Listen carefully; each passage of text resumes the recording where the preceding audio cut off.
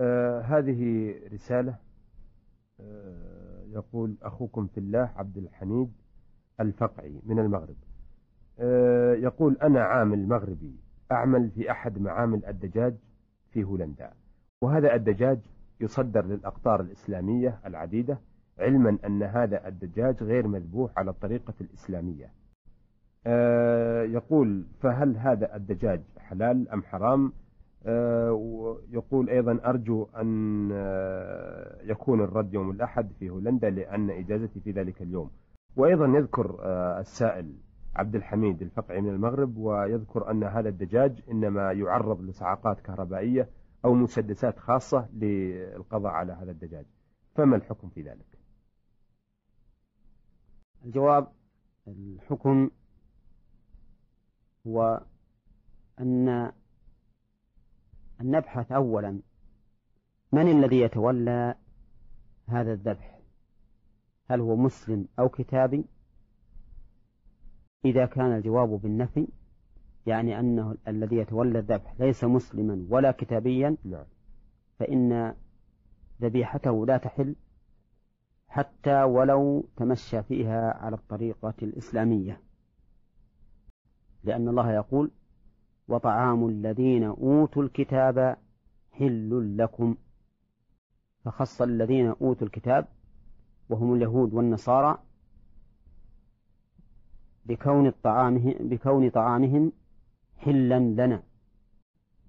وهذا القيد ليس مفهومه مفهوم لقب كما ذهب إليه من ذهب من المتأخرين. لأن الاسم الموصول مع صلته بمنزلة الاسم المشتق. والاسم المشتق ليس مفهومه مفهوم لقب. نعم.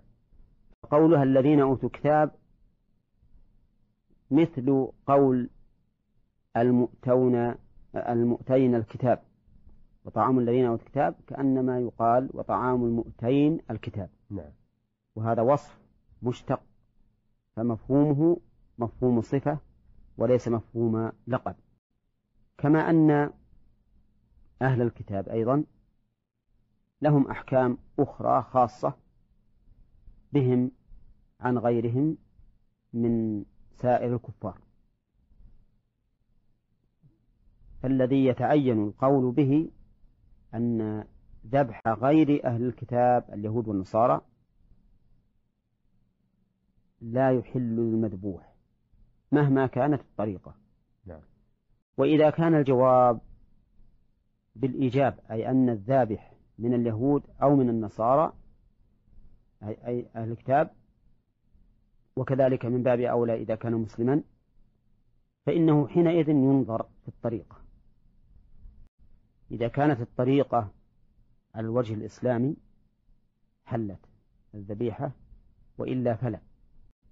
على أن من أهل العلم من ذهب إلى حل ذبيحة أهل الكتاب وإن لم تكن على الطريقة الإسلامية.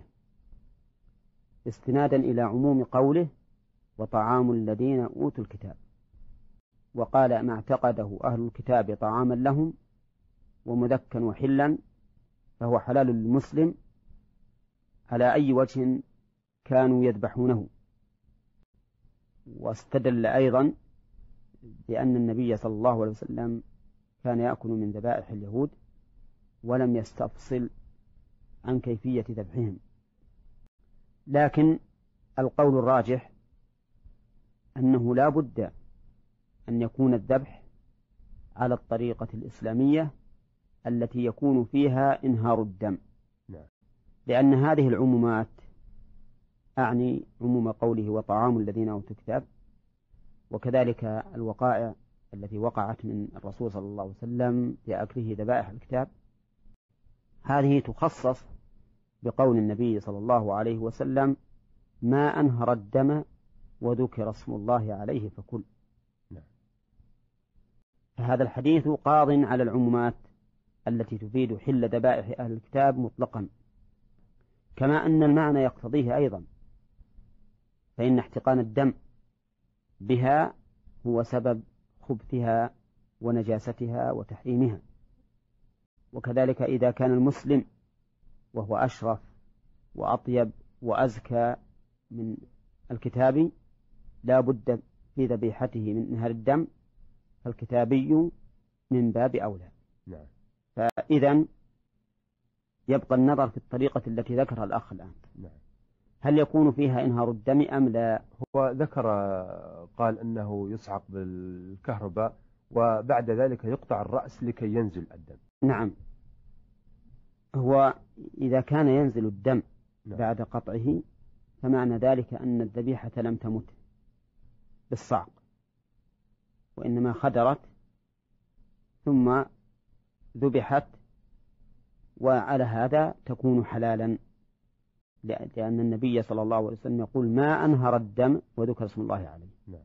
ولا يمكن أن يجري الدم الجري العادي إلا والذبيحة حية أما إذا ماتت فإن الدم يتغير ويتخثر ولا يمكن أن يخرج نعم. اللهم إلا شيئا يسيرا على كل حال إذا كان هذا الصعق الذي أشار إلى الأخ لا يصل بها إلى حال الموت فإنها فإن ذبحها قبل خروج روحها يعتبر تذكية شرعية نعم. لقوله تعالى حرمت عليكم الميتة والدم ولحم الخنزير وما أهل لغير الله به والمنخنقة والموقوذة والمتردية والنطيحة وما أكل السبع إلا ما ذكيتم كل هذه الأشياء التي استثني منها إلا ما ذكيتم وجد بها سبب الموت لا سيما المنخنقة فإنها أشبه ما تكون بالصاق الكهربائي. نعم.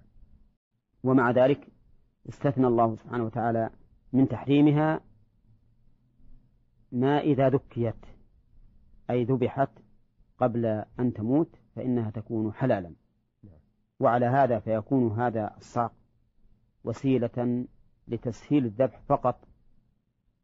أما إذا كان الصعق يؤدي إلى موتها ولكنه خلاف ظاهر كلام السائل لأنه يقول حتى يسيل منها الدم. نعم نعم. فإنها لا تباح حينئذ.